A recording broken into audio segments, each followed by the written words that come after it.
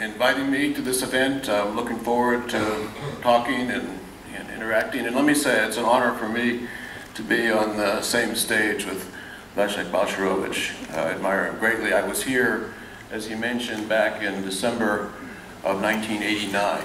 And so it's the beginning of the transition, uh, trying to provide support, moral and financial, to that great undertaking, uh, which I think has been amazingly successful. And as I observe leaders and political leaders over time, it's carrying out something like that requires extraordinary courage and leadership.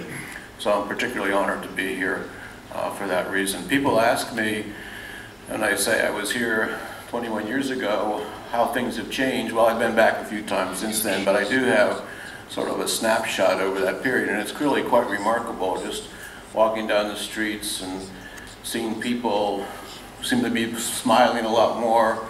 Uh, things are cleaner, more modern. Uh, it's just a pleasure. It's a pleasure to be here for that reason. Now I'm going to uh, speak about uh, the financial crisis and causes and lessons learned. And I do have some a PowerPoint slideshow, which I hope will be coming up in a minute. There it is. Um, and so, actually, as I see these slides, I'm reminded of the discussion we had on the panel a few minutes ago. And uh, Mr. Hrabowski was saying that we need to think about the two-year-olds and the three-year-olds. Well, I, I, like to teach uh, beginning students in economics and uh, use charts. So I'm going to have some charts today. I think charts are really useful to explain things. Sometimes the charts don't uh, jump out at you as much as you like. I think they're, I love charts. I think they're dramatic sometimes, but sometimes you see them for the first time, you say, hmm, what's, what's the big deal with that chart? So I had a chart, and I'm going to show you a little bit of that today. I have a chart that shows you rising debt levels in the United States. It's actually kind of a scary chart as I see it. But I showed it to my students, and they didn't see it was so scary. So I figured, well, maybe I need to do something a little more.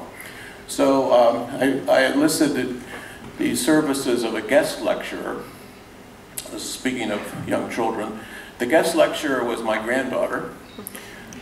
She's five months old. So I brought her to the lecture, went to the class about this size, brought her in my arms, and we turned around and looked at the charts. She looked up, wow, looked at the charts, and somehow just spoke into my ear. Didn't look, not saying anything at five months, not that bright. And um, so I turned around to the student. She said, fix it. And that was the main message from a, uh, then a five-month-old, and I think uh, that should be the message uh, for us.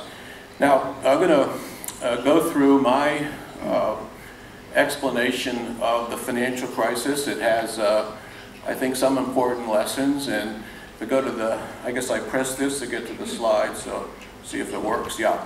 So what I like to do in explaining my views or the assessment of the financial crisis is to indicate the approach that I'm taking because I think it's important. Lots of people are out there commenting about what caused it. There's lots of books and lots of articles, but I think to get your own assessment, you want to sort of think about what's the approach that the person is taking.